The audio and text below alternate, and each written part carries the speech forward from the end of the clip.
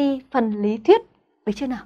Cô trò mình cùng nhau xem lại sự xác định của một đường à đường tròn. Các bạn lưu ý nhé. Đường tròn tâm O bán kính R.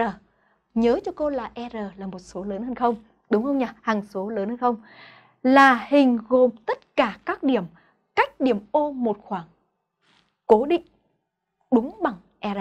Nhớ nhé, đường tròn tâm O bán kính R là hình gồm tất cả các điểm cách điểm O một khoảng đúng bằng R.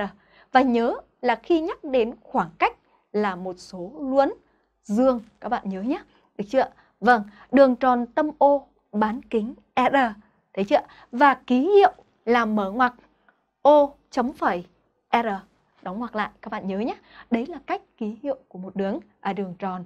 Các bạn quá là thuần thạo rồi, đúng không ạ?